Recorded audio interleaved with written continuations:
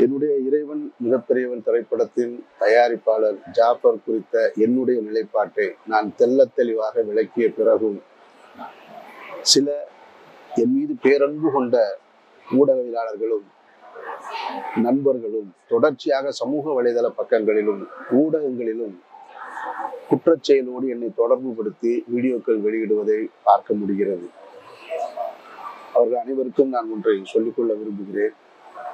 அடிப்படையாகவே மது விபச்சாரம் வட்டி இது போன்ற விஷயங்களுக்கு எதிரான சித்தாந்தத்தை கொண்ட மார்க்கத்தை பின்பற்றக்கூடியவன் நான் அப்படி இருக்கையில் இது போன்ற ஒரு குற்றச்செயலில் என்னை நீங்கள் தொடர்புபடுத்தி பேசுவது என்பது எனது பெயருக்கு களங்கத்தை ஏற்படுத்த முடியுமே தவிர என்னுடைய குடும்பத்தினருக்கு மன உளைச்சல்களை ஏற்படுத்த முடியுமே தவிர வேறு எந்த பயனையும் நீங்கள் அடைந்து விட முடியாது. நீங்கள் சொல்கின்ற அனைத்து குற்றச்சாட்டுகளிலும் விசாரிப்பதற்கு காவல்துறை அதிகாரிகள் இருக்கிறார்கள். சம்பந்தப்பட்ட துறை சார்ந்த அதிகாரிகள் இருக்கிறார்கள். இன்னும் பல்வேறு துறையினர்கள் இருக்கிறார்கள்.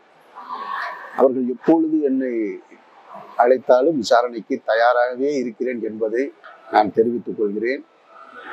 இந்த சோதனையான காலகட்டத்தில் என் மீது அன்பு கொண்டு என் மீது நம்பிக்கை கொண்டு என்னோ எனக்கு ஆதரவளித்த அனைத்து உள்ளங்களுக்கும் என்னுடைய நெஞ்சார்ந்த நன்றிகள்.